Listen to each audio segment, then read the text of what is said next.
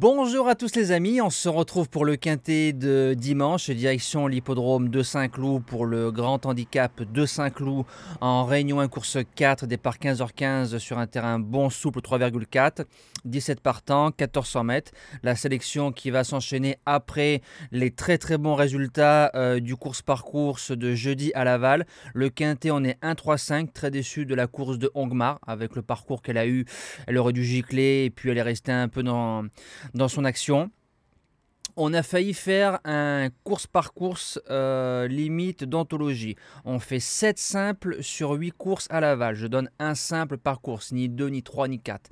Pas de magie ici, euh, que de la passion et euh, des suivis. Deux trios en 3 chevaux, 3 couplets gagnants, 12 Couplet placé, beaucoup de 2 sur 4, le report qui passe, on fait un 4 sur 4 avec les objectifs du jour, le jeu bonus qui s'impose à cette contrainte, le CDJ battu au poteau dommage, le repéré 1 qui rentre et le repéré numéro 2 qui rentre. Bref, des journées vraiment à se faire plaisir et j'espère les répéter euh, dès les jours suivants. Donc je rappelle pour que si vous voulez avoir le JDT, donc le journal des trotteurs, il faut m'envoyer votre mail et moi je vous envoie un lien pour vous abonner et vous recevrez la veille au matin euh, les pronostics euh, de la journée, que ce soit du quintet pour les jeux du quintet et pour le reste. Alors on est parti pour la base gagnante. J'ai mis le numéro 11, l'Anaken. Alors j'ai pas trop fait gaffe aux cordes parce que sur un terrain rapide, euh, je me dis que la corde, on peut vite euh, l'effacer. 2 sur 2 sur le parcours, quatrième et deuxième récemment de Quintet Plus. Tout terrain, le cheval a fait une bonne rentrée. Derrière, il a enchaîné en faisant deuxième de Quintet Plus. On le monte dans le peloton de tête, corde 14 ou 15 si je dis pas de bêtises, mais c'est un cheval qui s'est démarré. J'en fais mon gagnant. L'opposition, le numéro 2, Axe d'Avali. Trois courses de rentrée, les trois sont bonnes et la dernière est vraiment meilleure que les deux premières, indifférent à l'état du terrain. Dans ce quintet-là, je le vois au moins dans les trois. Premier outsider, une jument qu'on connaît bien, une jument de classe, le numéro 3, l'Hollywood. On l'a frappé en base gagnante le 20 août 2022 à 6 ou 7 euros très facilement. Elle a trois courses dans les jambes. Elle va être euh, sur la montante, corde 17.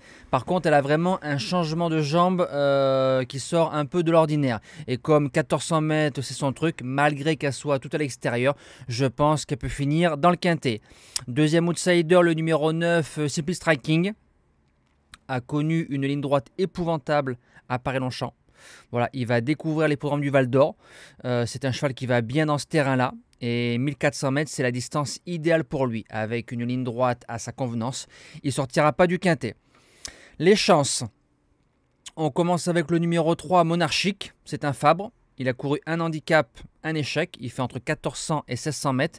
Par contre, la cinquième place qu'il a pris dans une belle action à Paris-Longchamp le monte vraiment euh, lui aussi sur la montante. Et j'ai envie de vous dire que bien ramené, c'est un candidat euh, au quintet.